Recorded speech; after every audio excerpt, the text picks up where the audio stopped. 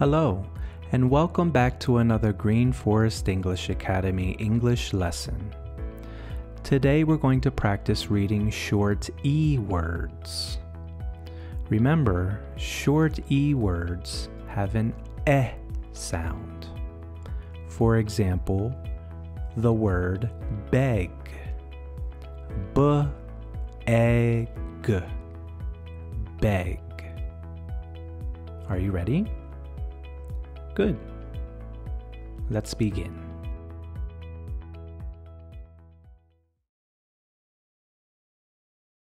Bed. Bed. Shed. Shed. Men. Men. Ten, ten, pen, pen, web, web, pet, pet. Egg. Egg. Smell. Smell. Beg. Beg. Bell. Bell bend. Bend. Leg. Leg. Neck.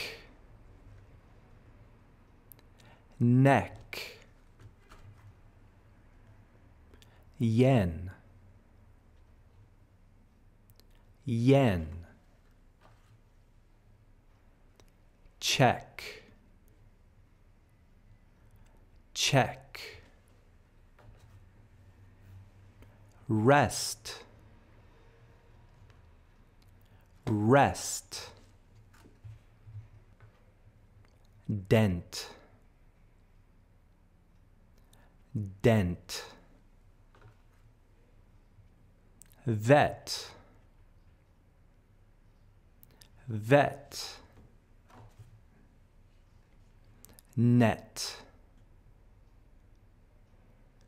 Net. Wet. Wet.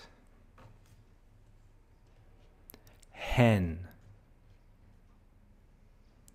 Hen. Red. Red jet. Jet. All right how did you do? I'm sure you did wonderful. Just keep practicing. And i'll see you for the next reading. Just remember you can do it. Don't give up